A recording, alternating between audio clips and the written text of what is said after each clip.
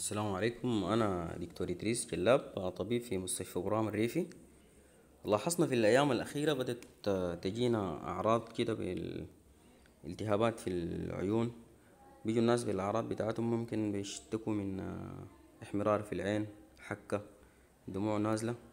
فالحاجة بدأت تتكرر كتير يعني الكيسز الحالات بقت تجينا أكتر من أربعة لخمسة في اليوم. فالحاجة دي الملاحظ إنه نحن خدينا احتمالية بتاعت إنه ممكن تكون حاجة فيروسية لأنه فيها انتشار واسع.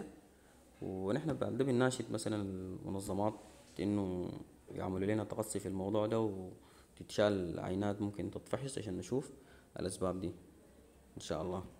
وهسه نحن الحالات اللي بنتعامل معاها كيف لما تجينا ال... ال... بنعالجها هسه علاج عرضي. يعني زول لما يكون عنده مثلا الحكة بندي حاجة مضادة للهستامين عشان تقلل الحكة.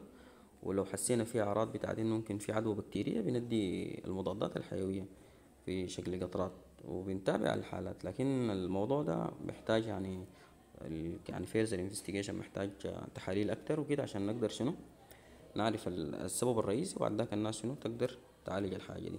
فبنناشد المنظمات ووزارة الصحة إن شاء الله ربنا يصلح الحال. العافية.